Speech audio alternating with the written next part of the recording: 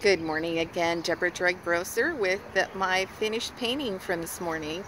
Um, here it is, and this is an 8 by 10 again um, of Walnut Creek Recreation Area in Papillion, Nebraska.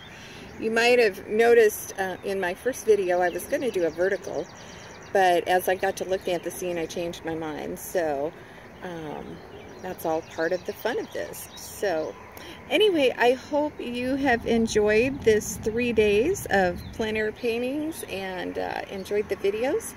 And thank you again to uh, Jane Bell Meyer and everyone at Illume Gallery for including me again this year. So hope to see you next time. Take care.